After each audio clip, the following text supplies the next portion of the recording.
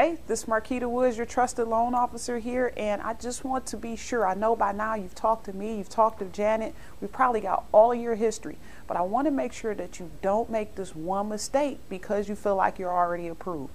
I'm going to tell you this do not use your credit cards or run up any of your bills until you've actually closed. So that means going over to Value City Furniture, make that happen after the settlement, all right? Not before, because most lenders have what's called a soft pull, where they do an update to your credit report. And if any of those balances have changed for the worse, guess what?